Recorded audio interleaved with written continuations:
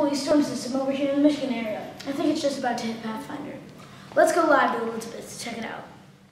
Thank you. I am here with Mr. Ray, principal of Pathfinder School. So, Mr. Ray, I hear that we are having a bad weather storm with mean birds at your school. Can you elaborate on what's happening?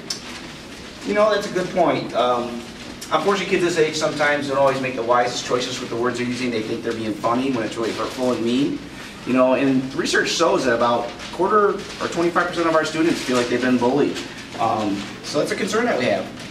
Wow, that's a lot of kids. I heard that about 160,000 kids miss school every day in fear of being bullied. That is far too many kids missing school. This is just another reason why bullying is unwanted. Imagine what the school would be like without mean words.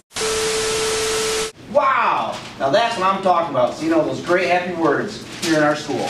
Yes, it is. Well, thanks for your time. I hope this sunny weather sticks around Pathfinder for a long time. Thank you, me too.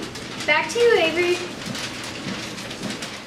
Wow, thanks Elizabeth. It looks like all the storms passed. Now, this whole area is full of sunshine. Thank you, Mr. A. You've proved that nice words can't make a